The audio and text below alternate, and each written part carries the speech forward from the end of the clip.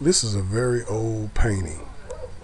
In Kentucky, I know we have some famous artists, and I'm really kind of into art. Now, I don't know who the artist was, but maybe somebody can help me out and find the artist's name that did this painting.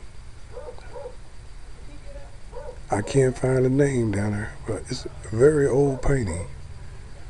It's over, I know it's over 100, probably over 120 years old.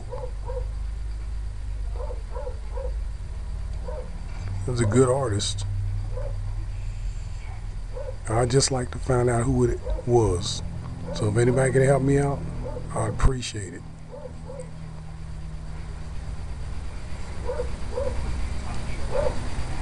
Thank you. Oh.